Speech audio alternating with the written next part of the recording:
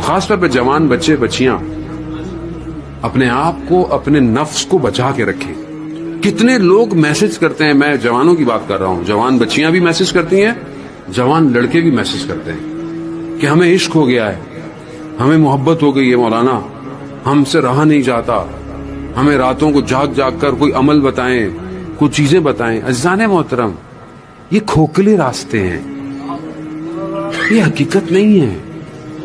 इस्लाम इसकी इजाज़त नहीं देता। ठीक है, अगर आपको कोई पसंद किसी वजह से आ जाए तो सही तरीका घर वालों के ज़रिए है। गुफ्तगु नामहरम की तीसरा शैतान होता है।